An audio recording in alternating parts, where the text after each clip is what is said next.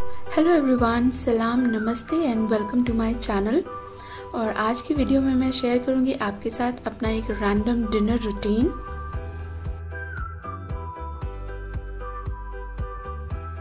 तो आज मेरा मंथली ग्रॉसरी डे था और मैं डी मार्ट से जो मेरा रूटीन का जो भी मैं सामान लाती हूँ वो मैं लेकर आई थी। मैंने ऑलरेडी एक वीडियो डाली हुई है मेरे चैनल पे।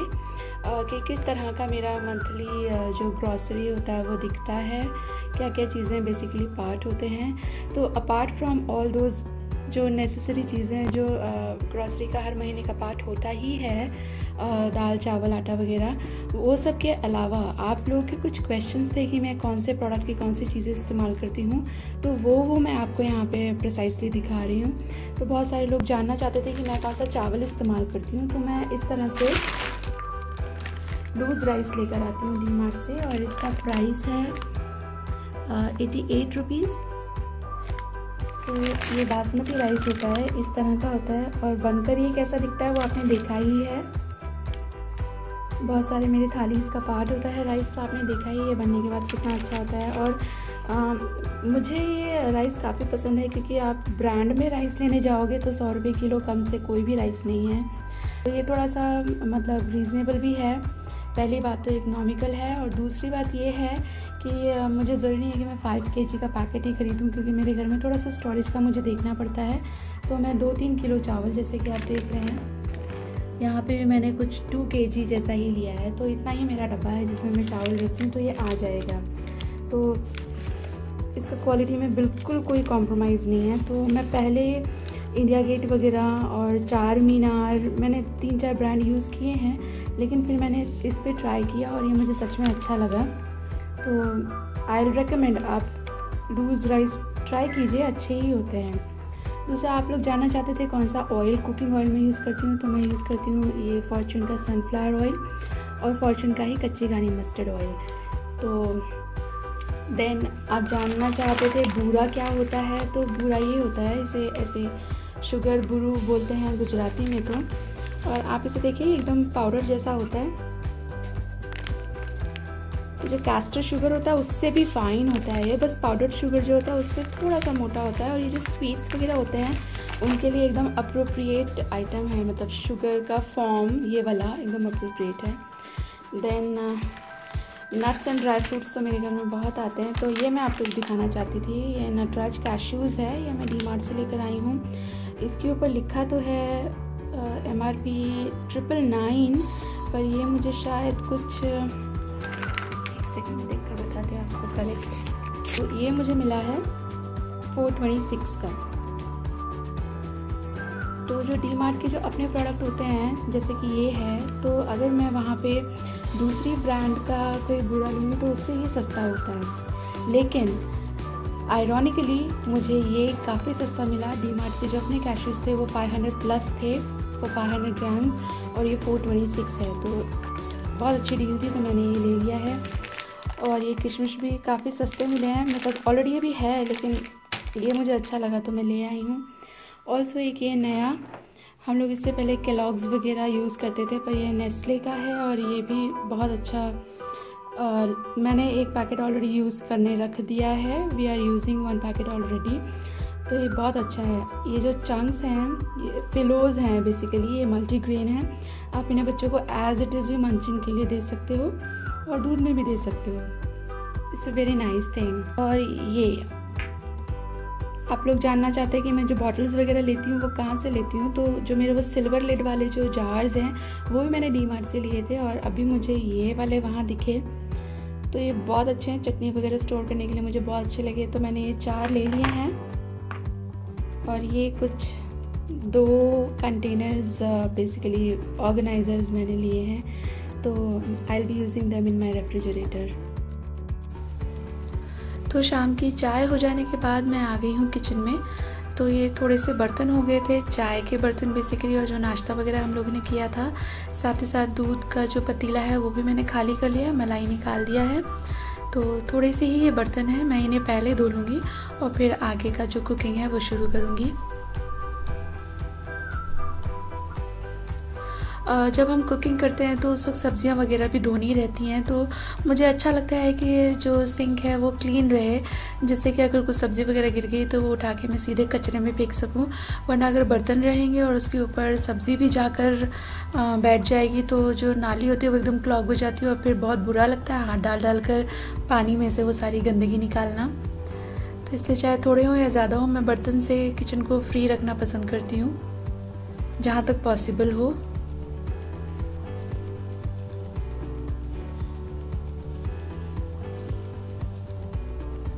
तो बस फटाफट पहले मैंने ये बर्तन धो लेने हैं और उसके बाद आज मैं बहुत सारे मेरे व्यूअर्स हैं ना रिक्वेस्ट कर रहे थे कि मैं गाजर का हलवा कैसे बनाती हूँ, वो रेसिपी उनके साथ शेयर करूँ। गाजर का हलवा यूँ तो हर नॉर्थ इंडियन फैमिली में मस्ट है और सीज़न में तो बनता ही बनता है। ये देखिए किचन हो चुकी है एकदम क्लीन तो अब मैं गाजर का हलवा बनाने की तैयारी शुरू करूँगी। तो मैं आपको बता रही थी कि नॉर्थ इंडियन फैमिलीज़ में बेसिकली बहुत सारी गाजर का हलवा बनता है। मेरी मम्मी खुद कुछ चार पाँच किलो गाजर का हलवा बनाती थी। मैंने यहाँ बस चार गाजरें लिए और उन्हें भी फ़ूड प्रोसेसर में कद्दूकस कर लिया है। आप चाहेंगे तो जो हैंड वाला ग्रेटर होता है, हाथ वाला कद्दूकस, उससे ग्रेट कर लीजिए। तो मैंने बहुत ही थोड़ा सा दूध लिया है, क्योंकि मैं एकदम इंस्टेंट वाला हलवा बना रही हूँ। मम्मी मेरी जो हलवा बनाती थी, वो तो दो दो तीन तीन घंटे तक उस प्रोसेस में लगे रहते थे। पर आजकल उतना टाइम नहीं होता है सभी हाउसवाइफ के पास। मेरे पास भी नहीं है, आपके पास भी नहीं होगा। किचन का काम एक तरफ़, बच्चों की जिम्मेदारियाँ एक तरफ़, और अपने बच्चों को मैं खुद ही पढ़ाती हूँ तो मुझे थोड़ा सा उनके होमवर्क की तरफ़ भी ध्यान देना होता है। तो उधर हलवा पक रहा है और मैं कर रही हूँ मल्टीटास्किंग मैं आज डिनर में बनाने वाली हूँ मटर का नमूना। तो ये रेसिपी आप में से कुछ लोगों के लिए बिल्कुल नई हो सकती है। ये नाम भी एकदम नया हो सकता है। आज मैं शेयर करूँगी कि मैं कैसे बनाती हूँ। तो उसके लिए जो हरे मटर होते हैं, वो चाहिए होते हैं और आप कोशिश कीजिए अच्छे वाले, जो फ्रेश वाले मटर होते हैं, वो लें फ्रोज़न न लें। क्योंकि जो फ्रोज़न मटर होते हैं, वो बिल्कुल मीठे नहीं होते हैं तो उसका नमूना भी बिल्कुल अच्छा नहीं निकलेगा। तो यहाँ गाजर मैंने, क्योंकि कद्दूकस की थी तो उसे पकने में कुछ ज़्यादा वक्त नहीं लगा। मैंने ढक्कन डाल के इसको उबाल लिया है दूध में। आप प्लीज़ पानी में मत उबालिएगा, इसको दूध में ही उबालिएगा। तो एक अच्छा सा ना, एक फ्लेवर सा ऐड होने लगता है हलवे को। तो मैंने यहाँ ली थी थोड़ी सी घर की मलाई, लगभग दो ढाई चम्मच, और मैं डाल रही हूँ ये पाउडर्ड मिल्क। मैंने पाँच, छः, सात, लगभग तीन चौथाई कप जैसा ये जो मिल्क पाउडर है वो डाल दिया है। क्योंकि ये इंस्टेंट हलवा है तो दूध में इसको देर तक जो पकाते हैं और फिर उससे जो वो मावा बनता है, वो प्रोसेस हम एलिमिनेट कर रहे हैं। तो इसलिए सारे शॉर्टकट ऑल्टरनेटिव्स ले रही हूँ मैं यहाँ पे। और इस तरह से आप हलवा बनाएँगे तो टेस्ट में कोई कॉम्प्रोमाइज़ नहीं है। ट्रस्ट मी आप बनाइएगा लोग आपके हलवे के फ़ैन हो जाएँगे और बन भी फटाफट जाता है। तो यहाँ पे मिक्सचर अभी फिर से थोड़ा सा लिक्विड हो गया है। तो ये जो दूध है अब मैं इसको पूरा खुश्क होने तक, पूरा एवेपरेट हो जाए, तब तक मैं इस हलवे को पकाऊँगी। और अब इसको निरंतर चलाना ज़रूरी है, क्योंकि इसमें जो मिल्क पाउडर और मलाई वगैरह हमने डाला है तो मिल्क का नेचर ही होता है कि वो चिपकता है। तो इसको कंटिन्यूसली आप स्टर करते रहें साइड से और बॉटम से स्क्रेप करते रहें। और अब इसे आप ढक्कन लगा कर नहीं पकाइए। ओपन पैन में पकाइए और पॉसिबली चलाते रहिए। तो देखिए, ये धीरे धीरे रिड्यूस हो रहा है। तो जब भी आप घर में मिठाई बनाते हो तो उसमें एक चीज़ का ख्याल रखना बहुत ज़रूरी है कि आप चीनी किस वक्त डालते हैं। टाइमिंग बहुत इंपॉर्टेंट होती है। जब भी आपकी मिठाई में लिक्विड है तो आप तब चीनी मत डालिए, वरना उसको खुश्क करते करते मतलब वो उसका सूखा सा जो जो प्रॉपर टेक्सचर है प्रॉपर फॉर्म आते आते वो चीनी चूई बना देगी आपकी मिठाई को। तो जो भी हलवे वगैरह होते हैं, उनके साथ भी यही प्रिंसिपल होता है। एक बार ये जो थोड़ा सा लिक्विड लिक्विड दिख रहा है ना लगभग सूख जाएगा तो उसके बाद फिर हम चीनी डालेंगे इसमें। तो मिठाइयों में चीनी आप डालिए, आपके घर के टेस्ट के हिसाब से कुछ लोग बहुत कम चीनी खाते हैं और कुछ लोग बहुत ज़्यादा चीनी खाते हैं। तो इसलिए मैं आपको कप्स में मेज़रमेंट नहीं दे रही हूँ। ऑल्सो कुछ जगहों की चीनी काफ़ी मीठी होती है और कुछ जगहों की चीनी होती चीनी है, पर टेस्ट में वो काफ़ी फीकी होती है एज इन एक चम्मच की जगह आपको दो चम्मच डालनी पड़ती है। तो आपकी चीनी कैसी है और आपके घर का टेस्ट क्या है, उसके हिसाब से आप चीनी डाल लीजिए। और एक इंपॉर्टेंट बात यहाँ पर कि जब भी आप सब्जियों से कुछ भी मिठाई बनाते हैं तो थोड़ा सा मीठा अच्छा ही रखिए, वरना जो सब्जियों का अपना एक ऑफ़ सा टेस्ट आता है, वो आपकी मिठाई को रूइन कर सकता है। तो चीनी डाल के इसको चला लीजिए, चीनी पिघल जाएगी तो हलवा फिर से थोड़ा सा रनी हो जाएगा पतला पतला हो जाएगा। तो अब आप इसको निरंतर चलाते रहिए, जब तक ये प्रॉपर हलवे का फॉर्म ना ले लें। तो हलवे में मैं डालती हूँ हरी इलायची। कुछ लोग काली इलायची होती है ना, बड़ी वाली इलायची, वो भी डालते हैं और कुछ लोग केवड़ा भी डालते हैं। तो आप केवड़ा डालना पसंद करते हो तो एक बूंद से ज़्यादा मत डालिएगा। मैंने डाली है हरी इलायची। और साथ ही साथ कुछ मिक्स्ड चॉप्ड नट्स तो आप वॉलनट्स मूंगफली, पिस्ते भी ले सकते हो, पर मेरे पर्सनल फेवरेट काजू और बादाम है और इसे मैं ऊपर से गार्निश नहीं करूँगी। हलवा पकने आएगा तो बस थोड़ी देर पहले मैंने ऐड कर देने हैं। इससे ये भी बहुत अच्छे से स्वीट और सॉफ्ट हो जाएँगे और बहुत अच्छे लगते हैं ऐसे नट्स गाजर के हलवे में। तो देखिए कैसे ये अब साइड से चिपक नहीं रहा है। बस हलवा लगभग पकने वाला ही है। इसे चलाना ना छोड़ें तो ही आप एकदम अंडरस्टैंड कर पाएँगे इसकी जो कंसिस्टेंसी है। तो देखिए, मैंने गैस बंद कर दिया है। हलवा मुझे इससे ज़्यादा गाढ़ा नहीं करना है। नहीं तो फिर चीनी की वजह से जो मावा इसमें है, जो गाजर इसमें है, वो थोड़े थोड़े क्रिस्टलाइज होने लगेंगे और फिर वो चुई सा, कड़ा सा हलवा हो जाएगा, वो अच्छा नहीं लगता। है वैसे भी अभी ये रखे रखे थोड़ा सा और थिक हो ही जाएगा। तो अब मैं शुरुआत करूँगी मटर का निमोना बनाने के लिए। तो मटर का निमोना हमेशा मस्टर्ड ऑयल में बनता है। और मैं इस्तेमाल कर रही हूँ कच्ची घानी। तो कच्ची घानी थोड़ी सी पंजी होती है, इसलिए उसको थोड़ा सा पका लें आप। और ये लिए हैं मैंने आलू। आलू को इस तरह वेजेस में ही काटिए, थोड़े मोटे ही रखने होते हैं। ये टिपिकल स्टाइल है निमोना बनाने की। आप चाहें तो आपकी प्रेफरेंस के हिसाब से भी आप आलू को शेप दे सकते हो।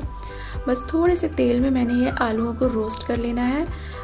इस पर जब तक अच्छा सा लाल कलर आए और पक जाए तब तक। और ब्लेंडिंग जार में मैंने ले लिए हैं हरे मटर। फ्रोज़न मटर बिल्कुल भी ना लें, जो कच्चे और मीठे मटर होते हैं। अभी सीज़न में बहुत अच्छी मटर आ रही है, वही लीजिए। और अब इस मटर को मैंने पीस लेना है। तो इसको क्रश इस तरह कीजिए कि ये बिल्कुल पेस्ट भी ना रहे और मोटा मोटा भी ना रहे। मतलब कुछ चंक्स हों इसमें दर दरा सा आप इसे पीस लीजिए। तो निमोना में कुछ लोग ऊपर से पूरे जो आँखें मटर होता है वो भी डालते हैं।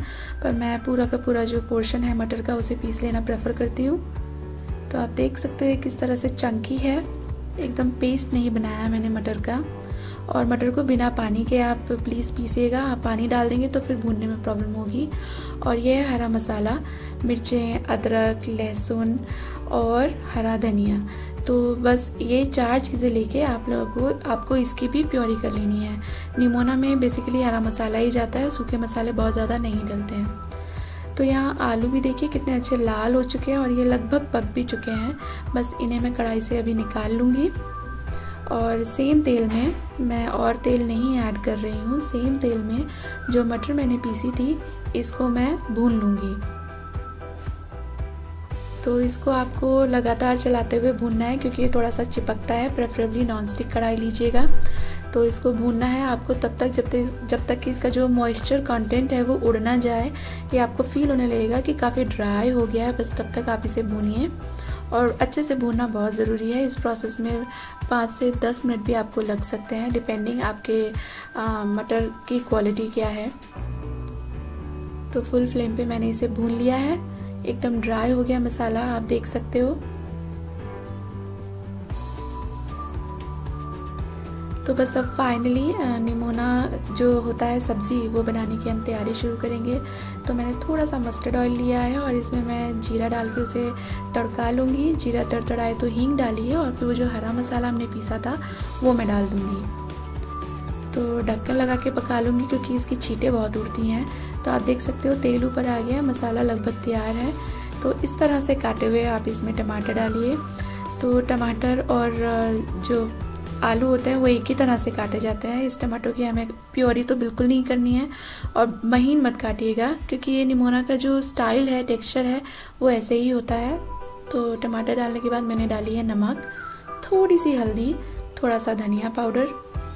तो मिर्ची मैंने पहले ही ले ली थी तो मिर्ची मैं स्किप करूँगी। आप चाहें तो हल्दी भी स्किप कर सकते हैं, क्योंकि निमोना हमें हरा ही बनाना है। और ये चावल मैं सोख कर दूँगी, क्योंकि निमोना के साथ चावल बहुत अच्छा लगता है। तो हल्दी मैं बता रही थी, निमोना हरा ही होता है तो आप हल्दी स्किप भी कर सकते हो, पर हमारे में मतलब वी डोंट बिलीव कि खाने में हल्दी ना हो, वो थोड़ा अच्छा नहीं माना जाता है। तो इससे शगुन के नाम पे मैं थोड़ी सी हल्दी डाल ही देती हूँ। तो अब इस मिक्सचर में मैंने जो भुने थे मटर, उनको डाल के अच्छे से मिला लूँगी। आप अच्छे से मटर को अभी मिला लीजिए, वरना बाद में जब आप पानी ऐड करोगे तो गुटलियाँ पड़ जाएँगी और फिर उनको फोड़ना थोड़ा मुश्किल हो जाएगा। तो देखिए, अच्छे से जो मिक्स हो चुका है ये मिक्सचर अब मैंने इसमें फ्राइड पटेटोज़ ऐड कर दिए हैं और कंसिस्टेंसी के हिसाब से मैं पानी डाल दूँगी। रोटी के साथ खा रहे हैं तो थोड़ा थिक रखिए। बेसिकली चावल के साथ ही खाया जाता है और मैं भी चावल ही बना रही हूँ तो मैं इसे थोड़ा सा रनी रखूँगी। तो मटर का निमोना यूपी की one of the favourite dishes है और मुझे इतनी पसंद है कि मेरे को इसके साथ चावल या रोटी की भी ज़रूरत नहीं है। मैं ऐसे ही कटोरी में, जैसे हम कड़ी खाते हैं ना, ऐसे ही खा लेती हूँ। तो ये डाला है मैंने थोड़ा सा गरम मसाला, नमक। आप, आपकी चॉइस के हिसाब से आप कितना खाते हैं एडजस्ट कर लीजिएगा। और अगर आपके जो मटर है वो ज़्यादा मीठे नहीं हैं तो थोड़ी सी आप चीनी ऐड कर लीजिए। मीठा नहीं बनाना है इसको हमने, पर थोड़ा सा वो टेस्ट आना चाहिए स्वीट मटर वाला। और ऊपर तेल दिखने लगा था, आपने देखा? बस इतना ही हमने इसे पकाना है। निमोना तैयार हो गया है और अब मैं बना लूँगी चावल। तो आज की थाली में सिर्फ़ निमोना और चावल में रखने वाली हूँ, थोड़ा सैलेड होगा। लेकिन इसके साथ आपको छाछ या रायते की बिल्कुल ज़रूरत नहीं होती है, ये एज इट इज़ बहुत टेस्टी लगता है। तो आप लोग में से जो लोग निमोना खाते हैं, उन्हें पता है कि कितना टेस्टी होता है। जो लोग नहीं बनाते हैं प्लीज़ मेरी रेसिपी से ट्राई कीजिएगा। और डिनर हो गया है लगभग तैयार। ये बन चुके हैं मेरे राइस और नॉर्थ इंडियन फेवरेट गाजर का हलवा मेरे फैमिली का भी बहुत फेवरेट है और बहुत टेस्टी बना था। Please try out my recipe और ये है मेरा फेवरेट निमोना। मुझे जितनी कड़ी पसंद है, उतना ही ज़्यादा निमोना भी पसंद है। बस यहीं तक की थी मेरी आज की वीडियो। उम्मीद करती हूँ आपको मेरी वीडियो पसंद आई होगी। अगर आपको ये वीडियो अच्छी लगी है तो आप इसे लाइक कीजिए, अपने फ्रेंड्स एंड फैमिली के साथ शेयर कीजिए और कमेंट बॉक्स में आपकी राय मुझसे साझा कीजिए। और अगर आप मेरे चैनल पर नए हैं तो प्लीज़ सब्सक्राइब जल्दी मिलती हूँ एक नई वीडियो के साथ। तब तक के लिए रखें अपना ढेर सारा ख्याल। मुझे दीजिए इजाज़त। Bye bye